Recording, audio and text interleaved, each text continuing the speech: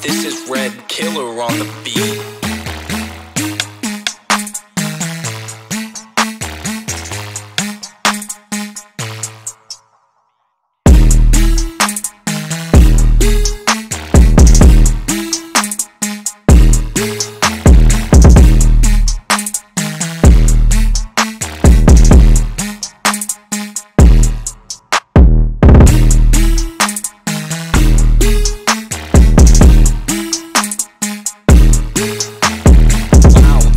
red killer.